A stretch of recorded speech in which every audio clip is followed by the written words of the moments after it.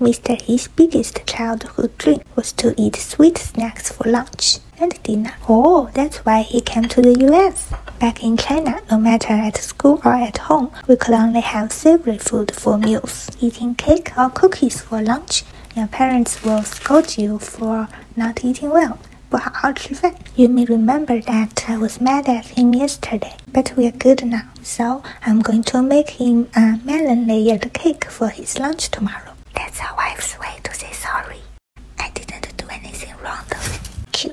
Here's some coffee and some more snacks. Love you.